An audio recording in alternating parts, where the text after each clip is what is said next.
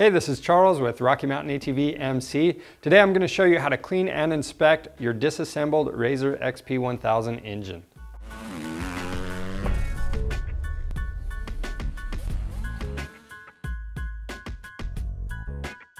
You're watching part three of our engine rebuilding series for the RZR 1000 motor. And in this video, we're gonna show you how to clean and inspect all of your disassembled parts. So to do that, we're gonna use some contact cleaner it's probably gonna take a couple cans, but we have a few just in case. We also need some safety glasses, rubber gloves, rags. We have soft brushes for cleaning, and we also have our gasket scraper and some Scotch-Brite. Throughout this process, we're gonna take several measurements, so we're gonna use a pen and paper to write those down. And to take those measurements, we're gonna be using feeler gauges, snap gauges, a straight edge, micrometers, and a dial indicator. If you don't have micrometers, then you might have to get by just by doing the visual inspections and using a set of digital calipers. The digital calipers aren't quite as accurate, but it's gonna let you know if you have any major concerns. Now as we go through the cleaning process, we're gonna use an oil pan to catch everything that's coming off of our parts.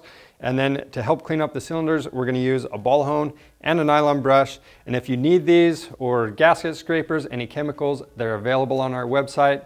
And now that we have all these things out of the way, let's go ahead and jump into this. To start out the cleaning process, we need to remove any remaining gasket material on any of these engine surfaces. Now keep in mind the stator cover has a bearing you want to cover up because you don't want to get any of those little pieces into the bearing. And after you've cleaned all of the gas gasket material off, you want to clean up the silicone sealant from the case halves and when you do this, it is possible to get some of that down into the oil passageways. So be really careful about that. You don't want to do that. But if you do, what you can do is remove the plugs for those oil galleys and you can use a pipe brush to clean it out and some contact cleaner.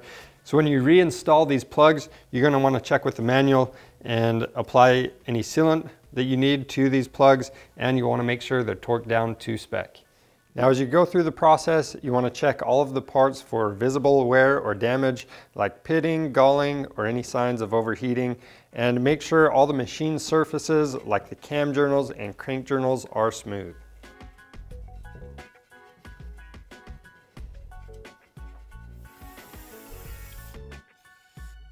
And I do want to point out when you clean these case halves, you don't want to use any pneumatic tools. This is a machine surface and you don't want to damage it.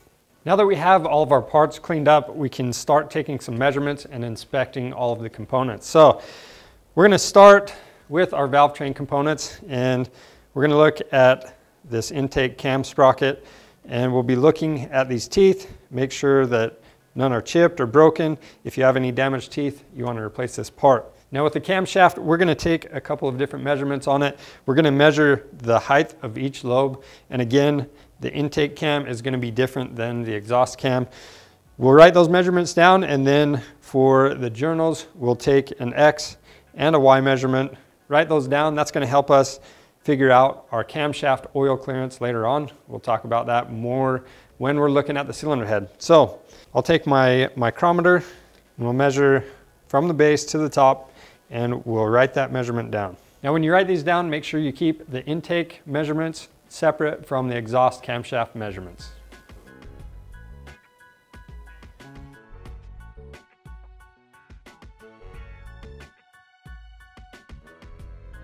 Now I mentioned earlier we have a separate video for the cylinder head, but we are going to measure the cam cap inside diameter right now and that way we can get the oil clearance for our camshafts. So what we're going to do is set the cap cam cap into place. If you don't want to use this method, you could use Plastigage instead. And we're torquing these bolts to seven foot-pounds. All right, so now we'll use the snap gauge to measure this bore. And when you do this, what you're gonna wanna do is center this up in there and you'll measure it with the micrometer. And I'd recommend doing this a few different times for each bore and make sure you're getting a consistent reading. And that way you know that the measurement is accurate. Now once you have all your measurements written down, what you'll do is calculate the camshaft oil clearance. Now what that is, so these are just plain bearings and they rely on oil pressure This camshaft, it runs on a thin film of oil that actually separates it from this metal in here. And it needs to be correct for everything to work properly. If it's not, everything's gonna wear out even quicker. It's just gonna accelerate. So to figure that out, you're gonna take this inside measurement right here and you'll subtract this outside diameter measurement from it and that's gonna give you your clearance. Now, if either of these are out of the service limit, you need to replace either component. So if this is wrong, you're gonna have to replace the complete cylinder head, but if it's just the camshaft, you'll just replace that. The other thing that can happen is both of these could be within service limits, but your oil clearance is too big. So in that case, you can check and see if you can just replace the camshaft and if that would bring it back to the correct clearance. Moving on to some of the other engine components, we're gonna check this stator cover. We have this bearing right here. And I mentioned earlier about making sure you don't get any gasket material down in there. You don't want this thing sticking up. So I'm just making sure that it rotates freely by hand. That one's good. So we have here a starter torque limiting gear. And on this, you know, there's a lot of different measurements in the manual and we're really just gonna cover the most important things. So you're looking for broken teeth on this and this shaft, if there's any grooves on it or if it fits loose in here, then you know that you either need to replace this limiting gear or this shaft. And then you're also gonna wanna check the bearing surfaces where the shaft rides. So right here in the stator cover, make sure that's in good condition. If there's a ton of free play in there, you know it's bad. And there's also the other side that goes on the engine case. And then moving on, so we have our flywheel here and it has the starter clutch on the back side of it. So we're gonna check this operation. We're gonna rotate this clockwise and it should rotate freely. And as soon as you try to go backwards, it needs to lock up. If you can spin it backwards, then you know that one-way clutch is bad and needs to be replaced. And just really quick, I'll pull this off so you can see it. Just a bunch of roller bearings in there that jam up when you try to go backwards with it. Now, on this gear right here, we have a bushing in there. You just want to inspect the bushing. If there's any vis visual signs of excessive wear, you want to replace this. Now underneath that flywheel, we have these timing chain sliders. And these parts I have out here, we're just doing a visual inspection. So for the sliders, we just wanna make sure that that cam chain didn't make any deep grooves in it.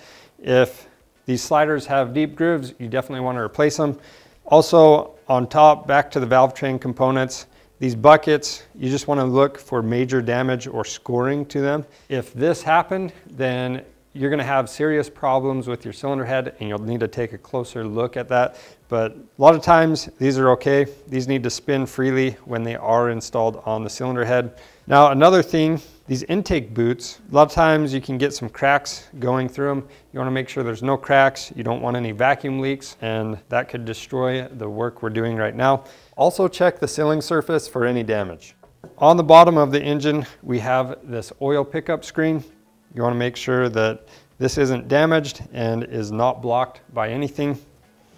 And moving on, we have the oil pump. So main thing we're checking on the oil pump, we already did an oil pressure test before we tore this motor apart. And if you need to know how to do that, we have a separate video on it. But while this is apart, we're really just inspecting these teeth on this gear and making sure none of them are broken. And then we'll also take a look at this chain Make sure it doesn't have any broken or damaged links.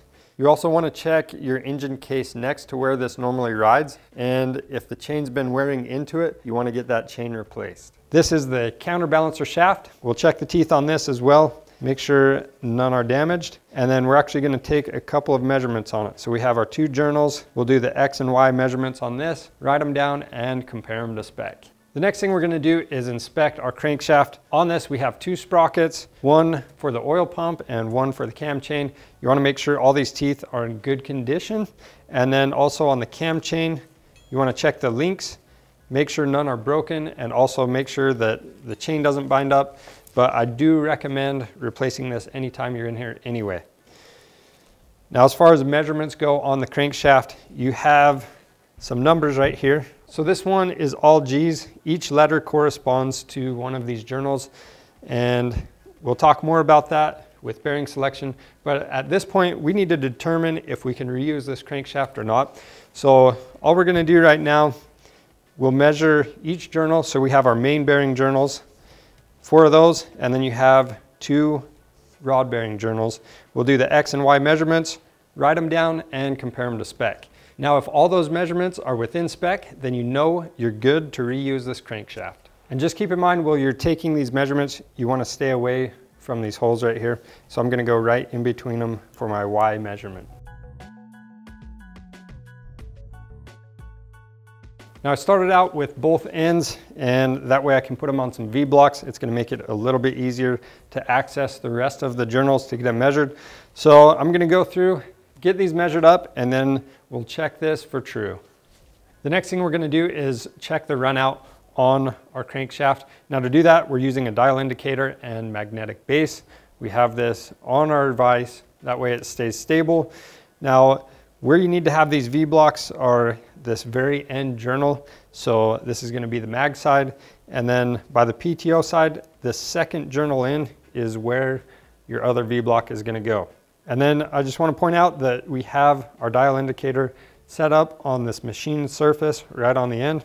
We'll rotate this over slowly and we want to make sure that the needle moves less than one thousandth of an inch. If it's over that limit, then you need to replace the crankshaft.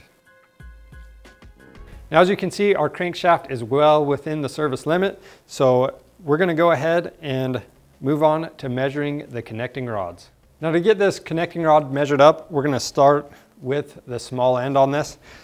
So I'm just gonna put a rag in the vise and have the vise hold this for me. Just want to be really careful to not damage this rod. Now when we measure it, we're going to do the same thing with the snap gauge. We're going to do an X and Y measurement and compare those to specs. And again, since it is a snap gauge, you want to do this measurement a few different times and make sure you're getting a consistent reading to make sure this is accurate. Now when you take this next measurement, just keep in mind that there's some oil grooves. You don't want to get in those. Now that we have those measurements taken, we'll move on to the big end. So I'm gonna flip this upside down and we're actually gonna torque this cap on there. We'll torque it to 13 foot-pounds. And when you put this on, make sure that you have the serial number matched up. And the other thing we wanna pay attention to, this has a number two. So the number two, this is gonna be the side of the rod that faces the exhaust. That's going to give us our spec. So your book, it's going to give you a different spec for what number is in that position.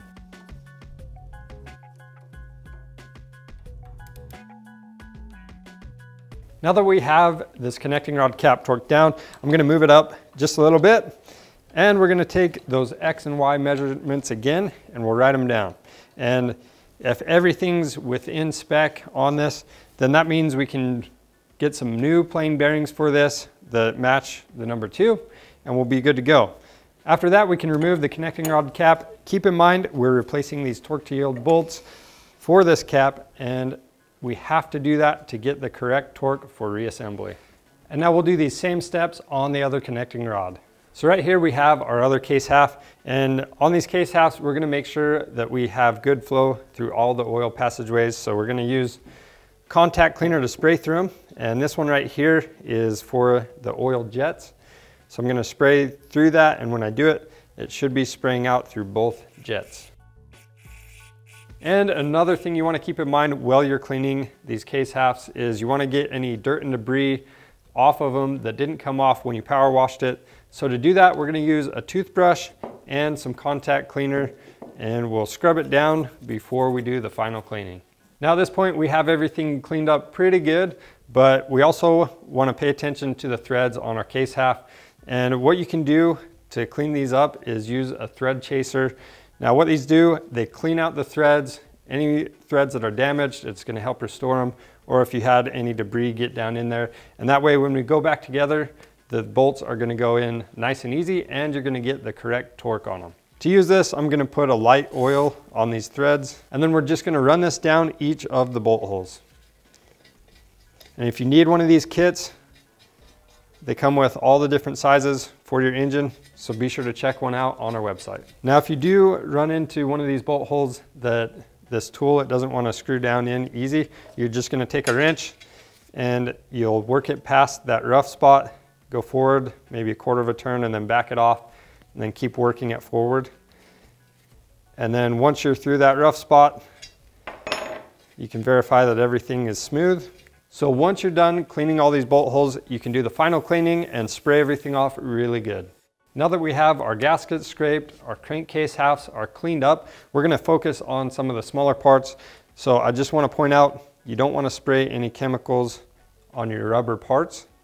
So I'm getting that out of the way. And then everything else, we're gonna clean these up really well. On the camshafts, you do have oil passageways. You wanna spray through those. And then same thing on the crankshaft, and we're actually gonna run a brush through on the crankshaft.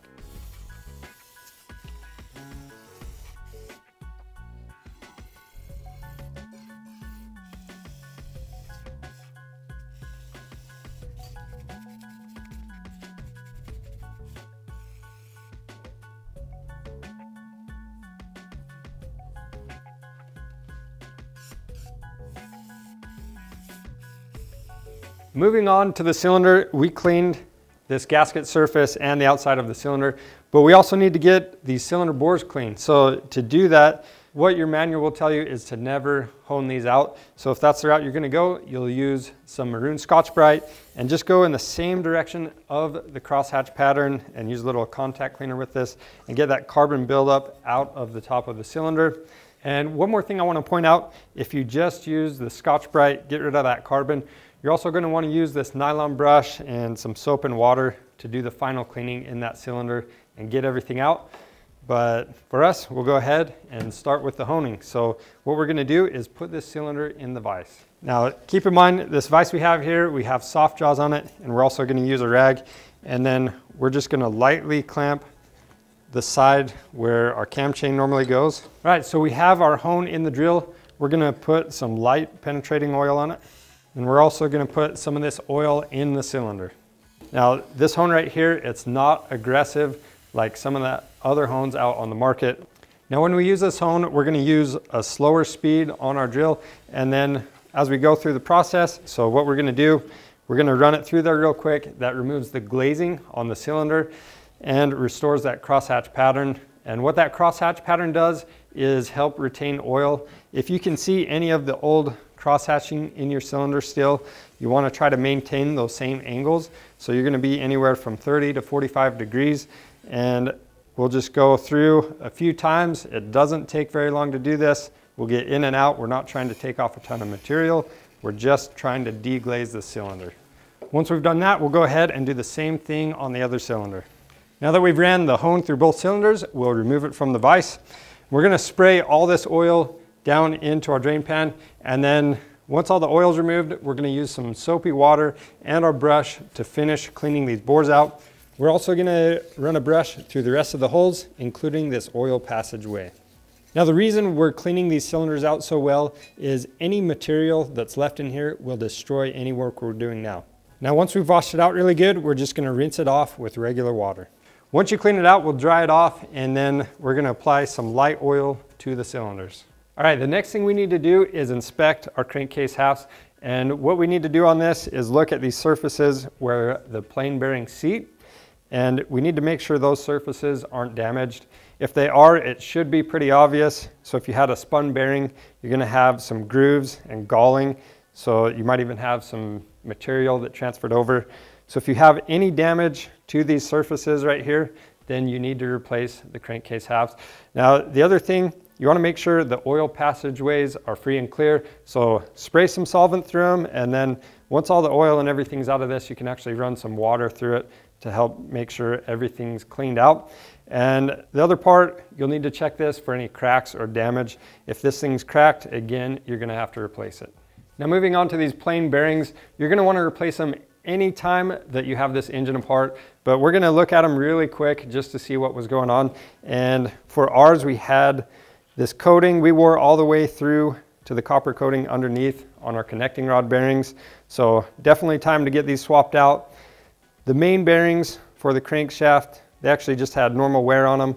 And then the countershaft bearings actually had some material or particles that were embedded into the bearing. So we might have had a little bit of dirt or metal shavings or something, but that got embedded to those. So it's definitely a good thing we're replacing these bearings. And like I mentioned, anytime you're in here, you want to replace these. It's really critical to have the correct tolerances in here because if you get a bearing that is too tight on the crankshaft, it's going to seize it up. Now on the other hand, if you get one with too much clearance, you're going to have a lot of noise and vibration coming from your engine. Now that we have our parts inspected, we need to make sure that we're installing the correct bearings when we reassemble this machine. So this code on the end of the crankshaft, it's six digits long. Ours is all G's. It is possible to have a different code, so make sure you pay attention to that. And each one of these G's corresponds to a specific journal on the crankshaft. So starting with the mag side, this is our number one position. So this is a G, and then all the way through, counts down to six on the PTO side. And each letter, starting with the first one to number six, corresponds to those journals. Now we're also gonna have a six digit code on the upper crankcase half. This number might be a little hard to see, but just right along here, it's six numbers. So ours is 212112. The first four numbers of that are what we're concerned about. The last two numbers are for the countershaft balancer bearings, and those bearings are actually all the same. So we don't need to worry about that. Only the first four digits, and those correlate to the four main bearings on the crankshaft. Now I've gone ahead and flipped this uppercase half over and how the six digit code correlates to this case half is from left to right, you're gonna have your number one, two, three, and four position. This is gonna be the PTO side. This is your mag side. And then five and six are these positions. Again, you don't need to worry about those numbers. So if we plug that in from left to right, this is gonna be two, one, two, one. We can then take those numbers and the numbers from the crankshaft, we'll plug them into the formula from the manual, and that's gonna give us the correct bearing sizes. The last numbers we need to write down are the numbers that are laser etched into the connecting rod caps.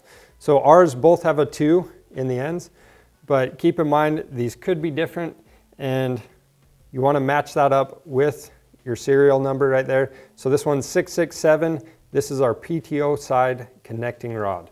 So write those down and then we'll use that in conjunction with the letters on this crankshaft and that's going to determine our bearing size. And now that we have all of our codes written down, I do want to point out it's critical that all these parts are within spec. So if you had any measurements on your crankshaft or connecting rods that were out of spec, these components need to be replaced before you figure out the bearings that are gonna go back in. So now we need to figure out which bearing goes where. You're gonna have three options for each journal.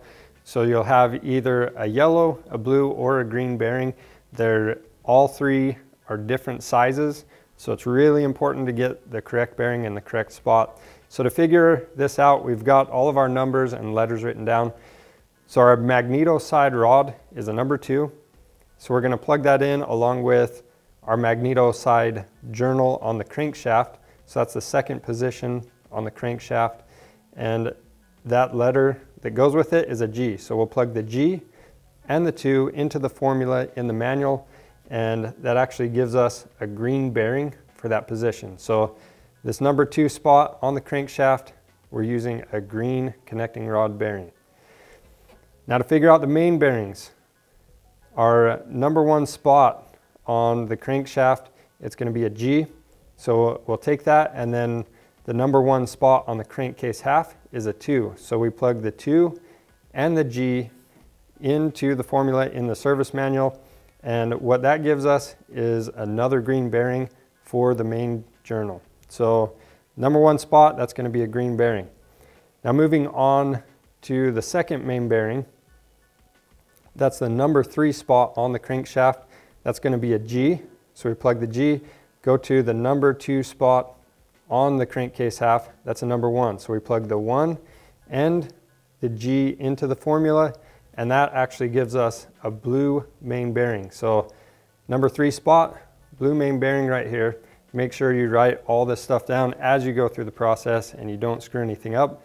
And then we'll just repeat these same steps for the other connecting rod and other main bearings. Now moving on to the cylinders, we need to make sure that we can reuse these. So we need to inspect this Nikasil coating. Now what this coating is, is a really thin, hard material. And if it's worn through or damaged, you need to either recoat these cylinders or replace them. And how to tell is you look for any visual signs of damage, but you can also run your fingernail across, especially where the piston skirts ride on the front and back of the cylinder. That's usually the places this is gonna be worn out. So if you run your fingernail across that and it catches on anything, that's a good indicator that this Nikasil is worn out. The other thing we can do is actually measure the cylinders and make sure they're not too far worn down. So to do that, what we're gonna do is take X and Y measurements. So we're gonna take one measurement from front to back, and then the other measurements are gonna be side to side. And these measurements, we're gonna take them a half inch down from the top, one in the middle, and then the bottom one is gonna be a little over one and a half inches up from the bottom.